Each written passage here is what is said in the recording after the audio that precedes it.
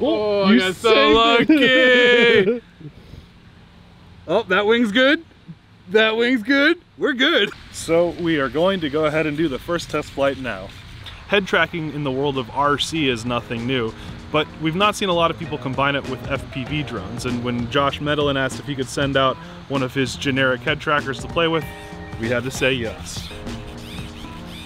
Walk me through your setup here. This is the Timber Turbo Evolution from Horizon Hobby. Overall, it's stock except for I have Crossfire and then I have a VTX set up on here for the digital FPV. So what this setup and allows us is not only to have a video transmitter, but also a pan and tilt so we can look left, right, and up and down as well, which should be a lot of fun on a fixed wing. Works out pretty well. I have not used a head tracker before, so I'm pretty excited. Cool, let's see what this thing looks like. You're gonna make me spend money as always.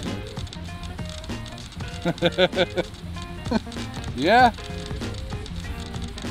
That's actually pretty responsive. There's not too much of a delay either. Dude, this is, I'm pretty impressed with how much articulation you get. That's pretty cool, man. This is gonna be weird. Sweet, let's get in the air. So for all intents and purposes, this is the first time we've ever done uh, head tracked FPV on anything. But the whole point of this was to kind of demonstrate like this is more like the traditional use for head tracking. Like it'd be really cool to combine this with like long range wings or planes or stuff like that. Taxi, go, get out of here.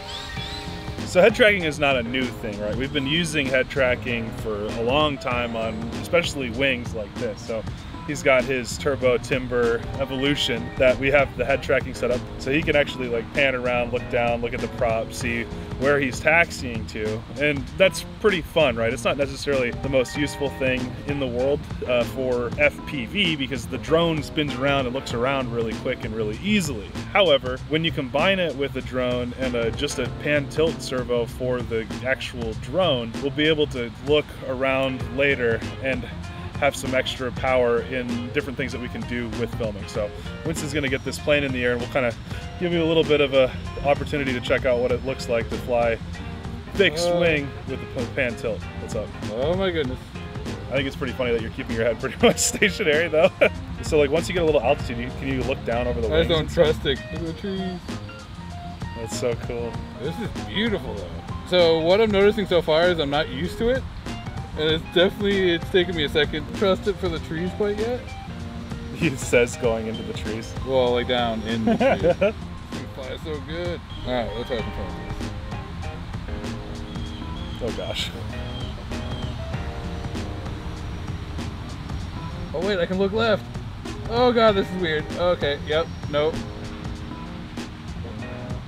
I didn't trust myself just diving into the, oh geez. Oh, that's a cool That's cool. Oh, oh that's so weird. Ah! so this gives me like that vertigo all over again where you look down and it's like, whoa, I'm controlling this, but I'm looking, oh geez, looking straight down. That is so wild. All right, let's check out the church over here to the right. Oh, this is vertigo all over again. Wait, what's? Oh geez. So yeah, there's the right wing. Oh, that's a cool view. Okay, I can see my attitude this way. Like my angle of attack. Mind that tree down there. Oh, that was weird. Oh, that's weird.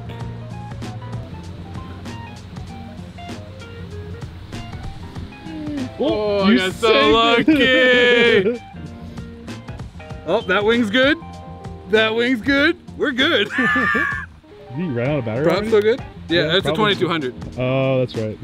I mean, that was still a good like five minute flight time, but all right, so very happy I landed it. I only have like 10 batteries through this plane and we all know how I do with planes. Uh, the head tracking thing was cool. That was nice to be able to check the uh, the wings to make sure they weren't damaged. so that'll take a while to get used to, but I definitely like the idea of like look at the church or look at the building as you fly past and added a whole new level to like FPV on that. That was cool. That's a different experience. That's like a whole nother experience with flying that thing FPV. That was cool. All right, let's go get this thing. So now that you've seen what traditional head tracking can look like, let's take it to the drone side and see how it can enable us to get unique shots. So the product that we're playing with is the Medlin Drones head tracker. He's used some open source hardware and software to kind of create like a plug and play head tracking device that can attach to whatever you want to track. So in, in the case before when we were flying it on the plane, we could use it with the DJI digital FPV system, which to me is a dream.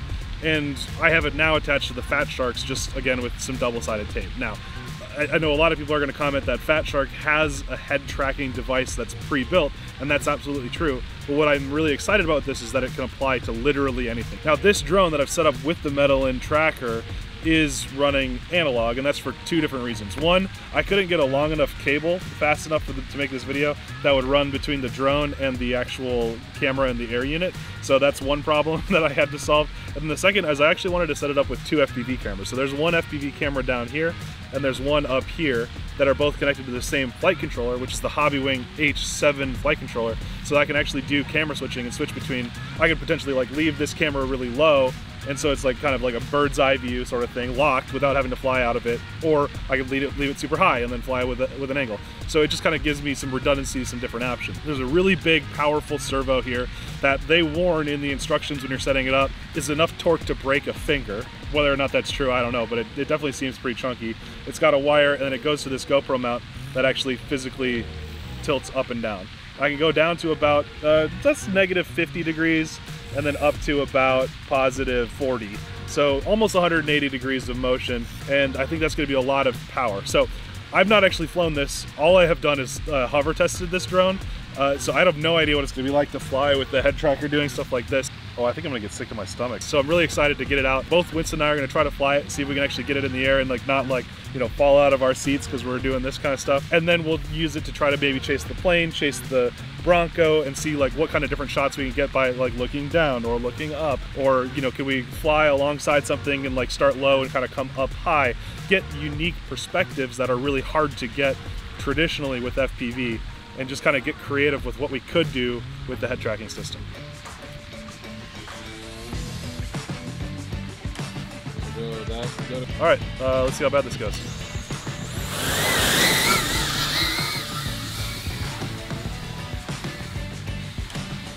Oh, analog video. Yep. Oh, I think I'm gonna get sick in my stomach.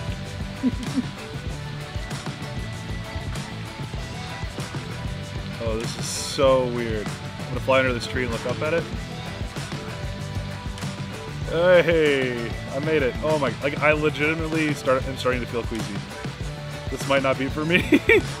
okay, I'm going up over the trees and I'm gonna look down into the tree area as I go over us. And yeah, that's pretty cool. It's kind of hard to fly it like this. Oh, that's cool. Okay, there's some potential there. Oh, this is so weird. Okay, I'm gonna kind of look down at this. Uh... I, I I am getting sick to my stomach. Like I'm not gonna throw up, but like I do feel weird.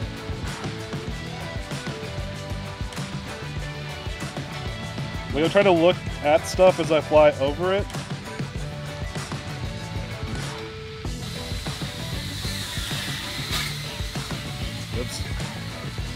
Kind of going over top of stuff and looking down at it is really cool.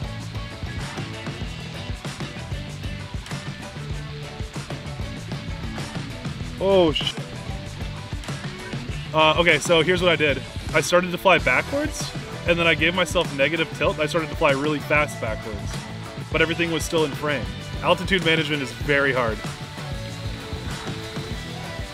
Okay, I'm trying to orbit while looking down.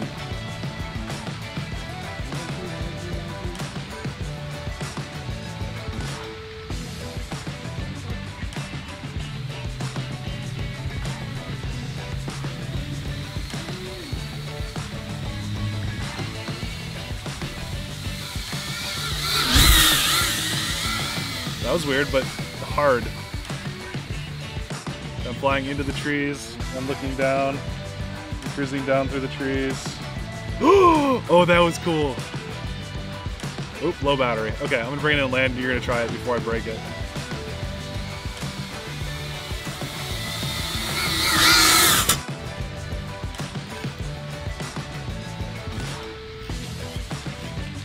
Okay. Okay, that was pretty cool like I I was a little bit skeptical at first because it's like okay yeah kind of a gimmick like you can look up and down with the drone but when I can like look down a gap and fly down through the gap Not because I'm unconfident in my ability to fly, but I can use that as a cool angle to come down through something. And like, you know, so I'll be looking through the gap and as I'm coming down, I look up to what I'm trying to reveal through the camera. So like I kind of went into a gap over there in the trees and I looked, you know, I came into the gap, looked down and then cruised down the gap and then through. And that gave me like a perspective that I've not seen before in FPV. Um, I want to play with more with the up tilt too, like to kind of see like kind of look up and fly up through something and then down, stuff like that. But like there's definitely something there that I hadn't thought of before and I'm really, really excited about what that could be. So Winston, you gotta try flying it because it is a head trip. All right, here we go. Oh geez. Like I want to tilt my head farther forward to move. Because usually I have in my mind to pitch forward. And to pitch forward I look down. oh geez. Alright, here's what I wanted to try.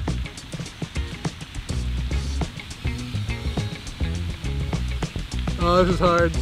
Oh, and looking up physically. Man, this tests your skills as a pilot, because you gotta feel what the drone is doing as you're flying it. Oh, that's cool.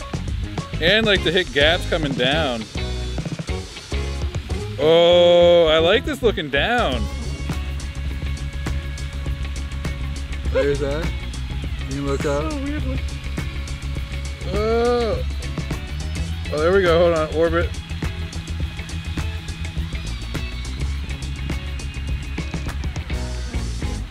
So I'm just kind of playing around with it, trying to get used to the idea of what the drone's gonna do, where it's pointing, and just keeping correlation with everything with where I'm looking and remembering.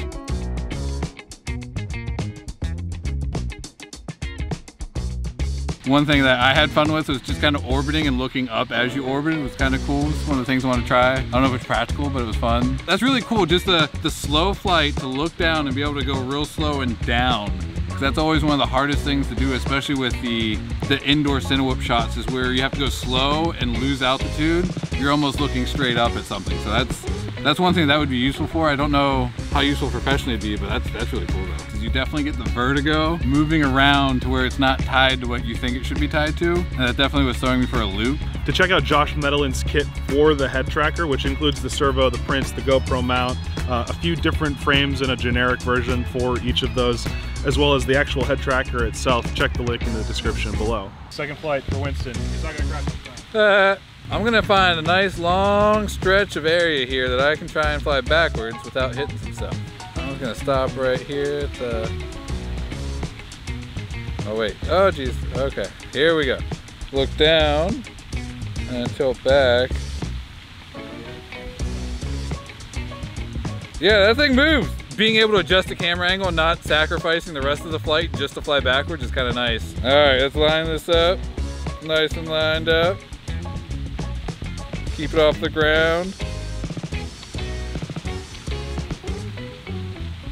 Being able to just kind of not sacrifice the angle of the camera and the GoPro the rest of the flight and still being able to stop on your subject, look and just slowly come back like that I wasn't very smooth about the transition, but if you get practice with it, I bet you could probably get some cool shots with that. Especially with like the indoor tours where there's the things where you have to watch someone come up to the door and then back off with them or something along those lines would be a cool, cool use case for something like this. So I've given myself about four or five batteries to really start feeling out how I can be using the head tracking alongside of the actual drone itself, just because it's a kind of weird thing to get used to. Like I didn't feel like my first couple flights really justified like how it could be used, and so I wanted to kind of just practice off camera. So this next flight, what I want to show off is kind of how I'm using the downward angle, especially because I have a little bit more downward tilt in this angle, in this setup than I do upward. I can really only get to like there um, but I can go a lot further down I think than up, so it's like 50 degrees. And I use that to kind of move slowly down through trees and kind of make reveals. So like there's gonna be a shot where I come down and I kind of scoot through all the trees right behind us and kind of come level to Winston and then kind of move off in a different direction. And using those sorts of movements to kind of create something that you don't normally get with FPV, I think is one of the powerful things about this particular idea. So I'm excited to see what other things we could keep doing with this. But for now, I'm excited to see the early beginnings of what this could be. So in conclusion, we don't actually know all of the possibilities of this yet. The ability to fly down through stuff was absolutely incredible. Like we can kind of like point the camera all the way down and really slowly make our way down through things. And then as we're coming back up, we kind of reveal the stuff that we're looking at. I thought that was a unique application for this device. Beyond the unique shots that you can get, what's cool about this particular kit is that it can work both with Fat Sharks and with DJI digital FPV system or whatever system you want. You just have to stick it on and control it with the controller. To that end, I'm really excited to hear what you guys think in the comments about the things that we should shoot with it, right? We, we tried a little bit of chasing, a little bit of proximity flying, and a little bit of backwards flying. We want to know what would you try to shoot if you were playing with this? So jump in the comments and let me know what you think. As always, everything, including this drone, the kit, the batteries, the everything is in the description below. So be sure to go check that out. And if you choose to purchase any of them, you'll be supporting this channel. And if you aren't subscribed already, be sure to do that and stay flying.